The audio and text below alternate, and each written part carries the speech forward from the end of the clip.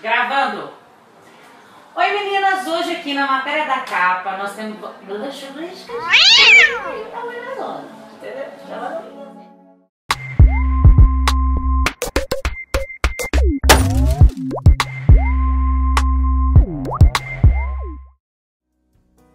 Oi meninas, hoje aqui nós estamos com a matéria da capa. Hoje eu vou estar entrevistando a Rita, da Silva, essa mulher guerreira, empreendedora e que tem uma história maravilhosa de sucesso para contar pra gente.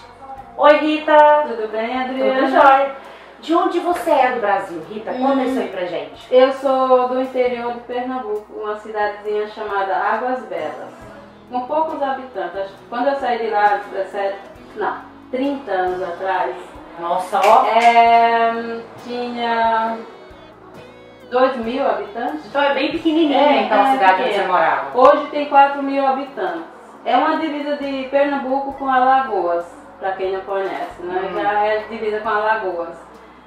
E a maior parte da minha infância foi lá, né? Porque eu saí de lá com 17 anos, quando eu fui para São Paulo, né? Pois é, em São Paulo, quando você veio do interior do Nordeste, foi para São Paulo, como que foi essa transição de ser uma pessoa do interior ir para uma cidade grande, né? Que a gente conhece a história, Uhum. você, você teve essas duas experiências na Aham, vida, que foi aham. São Paulo, Londres, né? Ah, essa essa é- começa em Pernambuco, porque aos 7 anos de idade a minha mãe falece, né? Então nós somos uma família de sete irmãos. Meu pai tirou todo mundo da escola porque era mais fácil para ele educar. Educar quer dizer manter so- o sobre o controle dele, né? Porque sete irmãos, a minha irmã mais velha tinha 13 anos, né? Então essa foi a maneira mais fácil que ele encontrou de estar em controle com a gente, porque era só crianças, né? E ele era viúvo, não tinha ninguém para ajudar, a não ser meu avô e minha avó. Então ele tirou todo mundo da escola, isso foi uma coisa que é difícil para você crescer sem saber ler, nem escrever, né? Então quando eu cheguei em São Paulo, é o primeiro choque. É isso, você ter 17 anos e não saber ler nem escrever, só assinar seu nome. É muito complicado. Então quer dizer, não, não foi fácil, foi muito Não, difícil para você sua vida em é. São Paulo. Foi, o começo é muito difícil, mas eu sempre fui uma pessoa muito determinada e não era aquilo que eu queria pra mim, entendeu? Porque assim, você não sente falta do que você não tem. Mas quando você descobre que você pode ter, você fala, não, não quero isso, não é isso que eu quero pra mim, eu não quero ser essa pessoa, eu quero ser mais, eu vou à luta, né? Então quando eu cheguei em São Paulo, eu cheguei mais ou menos em outubro, né? Em janeiro, fevereiro começam as aulas e eu já comecei a estudar. Então já comecei a trabalhar, já, eu comecei como empregada doméstica. Seis meses só, mas trabalhei, né? Então quer Trabalhei, dizer, a né? vida aí ó, no patente não era Isso. fácil. Então, assim, é, eu levantava às 5 horas da manhã, porque aí depois eu já não estava mais fazendo é, faxina, já estava trabalhando numa fábrica. Certo. Eu levantava às 5 horas da manhã, eu ia para a fábrica, fazia só meia hora de almoço, que era uma hora, mas eu fazia só meia hora para economizar tempo. Nessa época eu já já estava estudando, né? Eu saía da fábrica. Ah, também tem outra coisa. Foi aí que a minha vizinha começou a fazer um curso de cabeleireira. Então a história de cabeleireiro é, É, longa, então. Lá em São Paulo, quando é, era novinha. É novinha, eu acho que eu, é, nessa época eu tinha, já tinha 20 anos. Aí, não, ia fazer 20 anos. Aí ela começou a fazer esse curso e eu achei interessante, eu não tinha noção o que, que era ser uma cabeleireira. Pra mim aquilo era coisa assim, do outro mundo, né? Ai, que bacana. Aí eu decidi fazer esse curso junto com ela. Eu ia pra fábrica às 5 horas da manhã, saía da fábrica, fazia só meia hora de almoço, que era pra ter mais tempo. Saía da fábrica, ia pra esse curso de cabeleireira, saía do curso de cabeleireira e ia pra escola. Eu chegava em casa 11 da noite todos os dias. Então tá vendo, gente? Esse pessoal É. que trabalha 10, 12 horas, não é só aqui em Londres não. No Brasil a Não, galera rala não. muita hora. É.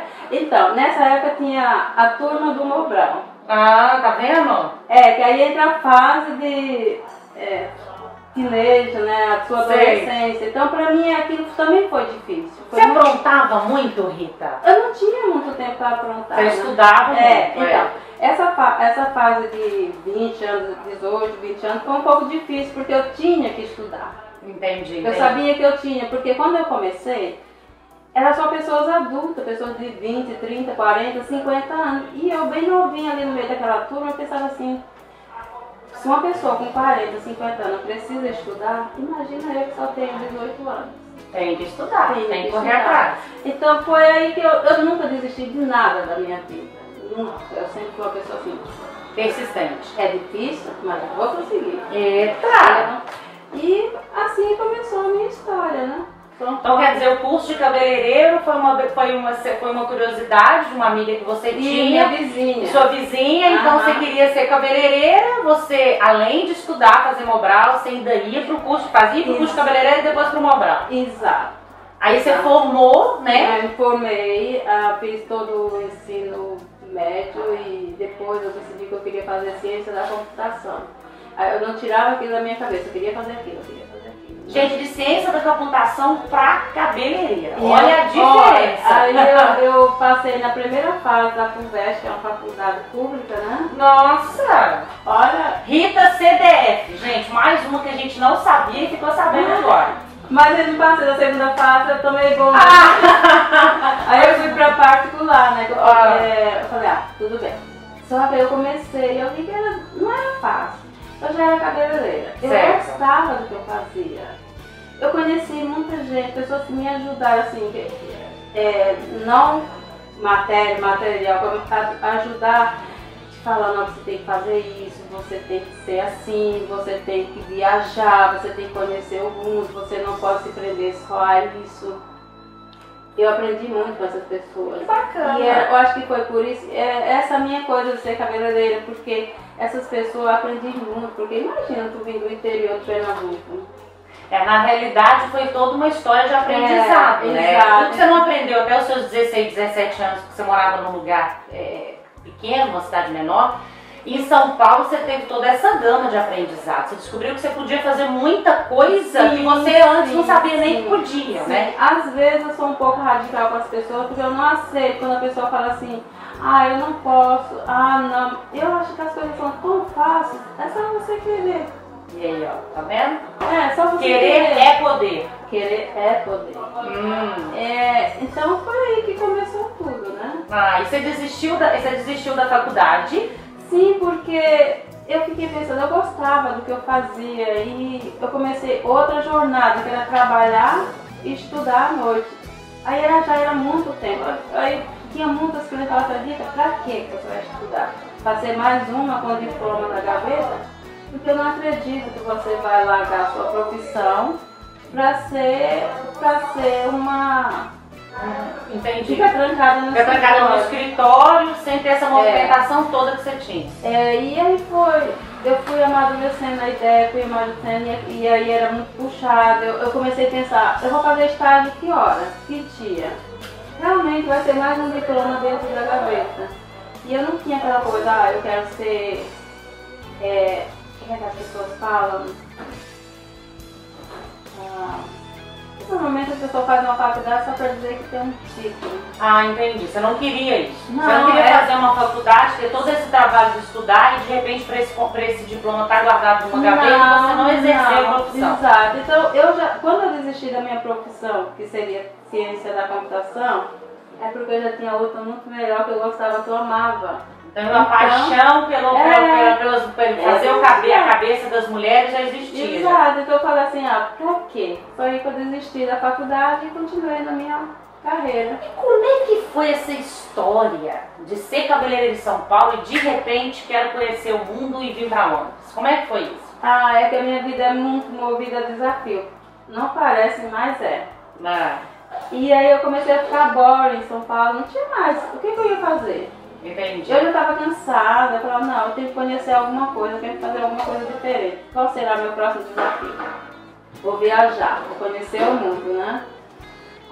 Esse- é, ainda continua, vou conhecer o mundo, ainda não conheci.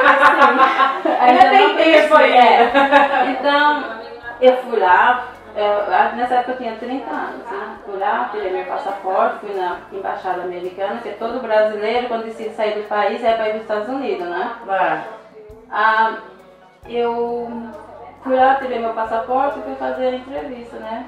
A mulher falou, olha, eu vou ser bem sincera com você. você tem 30 anos, não tem nenhum vínculo familiar e nem comercial.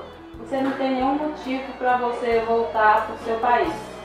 Então, por esse motivo, eu não vou te dar o. Legal isso para você. Uhum. Embaixada americana, tenho certeza que se arrependeu desse uhum. Então, aí eu decidi, falei assim, bem, não vou para os Estados Unidos, mas vou para outro lugar. Comprei o um mapa, aquele mapa mundo, né? Ah, essa história eu acho fantástica. Quando aí é que eu queria que o país falasse inglês, né? Ah. Aí eu pensei, Canadá, Canadá é muito frio, o inverno é muito longo. Aí eu pensei, Austrália. Austrália é um país tropical, igual ao Brasil. Aí eu vi né, o símbolo da coroa da rainha. Da coroa, né? eu entendi. Ah, é pra isso daí que ah, vou. esse lugar. É, pra esse, esse lugar é pequenininho pra mim, mas eu vou lá. É, exato. Mas foi justamente isso que aconteceu. Aí fui lá na agência que, no, onde eu trabalhava, eu trabalhava num shopping. E tinha é. agência de turismo. De turismo, né? certo. Aí eu fui lá, assim, com a minha timidez. Ah, eu quero viajar, eu quero ir embora pra Inglaterra. Ela não acreditou, né? Assim, do meu jeito de ser. Você vê assim com a cara é coragem, mas é corajosa essa menina, hein? Fui lá, comprei a passagem e decidi, o ano que vem eu vou estar nesse Eu vou estar nesse lugar. Trabalhei o ano inteirinho, de 10 a 10 da noite. Pra de grana, é, pra poder vir pra cá. Paguei passagem, paguei acomodação, pra, paguei escola, paguei tudo. Ter dinheiro pra chegar aqui, não passar necessidade. E as pessoas perguntavam pra mim, Rita, o que, que tu vai fazer lá? Ué, o que todo mundo faz no, no, quando você sai do seu país? Eu não falo a língua, não conheço ninguém. Vou sozinha e Deus. O que, você faz? Lava prato, varre chão.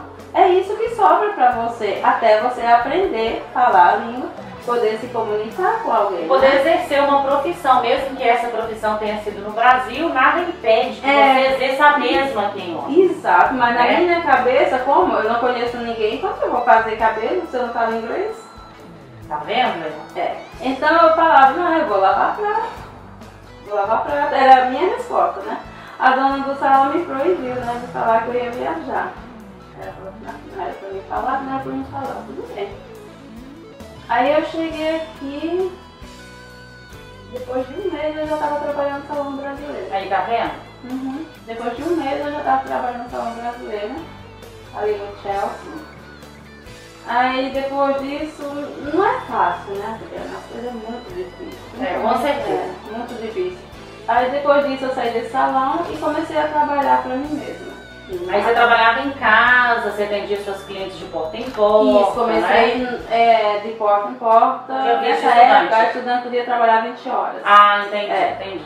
Então eu, eu, eu comecei a ir na casa das clientes, só que meus clientes foram aumentando, eu não tinha condições de atender fora e na minha casa, às vezes eu passava umas 10 vezes naquela estação, as pessoas deviam pensar, o que, que essa menina faz se ela sobe e desce todo dia? Né? Então, tipo assim, a demanda de clientes é. foi aumentando de uma forma que você não dava conta mais de atender em casa. Você Aí, precisava de um lugar para você poder atender, exato. atender. Então, quando eu comecei a trabalhar na minha própria casa. Ah, entendi. É, comecei na minha própria casa, montei um salãozinho dentro da minha casa, né? Com permissão de, do, Antônio, todo mundo, companhia aberta e tal, self-employed. Aí nessa época já podia, né?